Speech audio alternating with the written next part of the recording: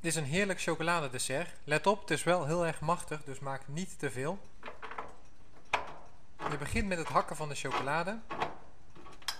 Gebruik chocolade met zo hoog mogelijk cacaogehalte. Verwarm dan de koffieroom in een pannetje. Doe daarbij de chocolade wanneer het warm is.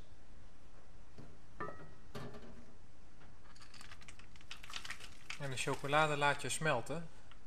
Dat moet één egale massa worden. Dan voeg je de cognac toe. En dan klop je de eierdooiers er doorheen.